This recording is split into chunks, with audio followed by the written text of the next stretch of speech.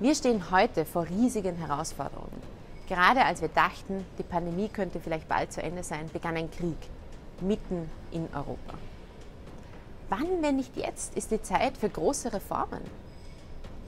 Wir können nicht mehr darauf warten, dass etwas passiert. Wir brauchen die Vereinigten Staaten jetzt mehr denn je.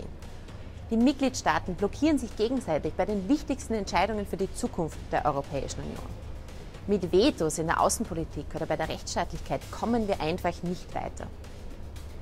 Wir müssen jetzt vorspulen in ein entscheidungsfähiges Europa. Fast forward in die Vereinigten Staaten von Europa.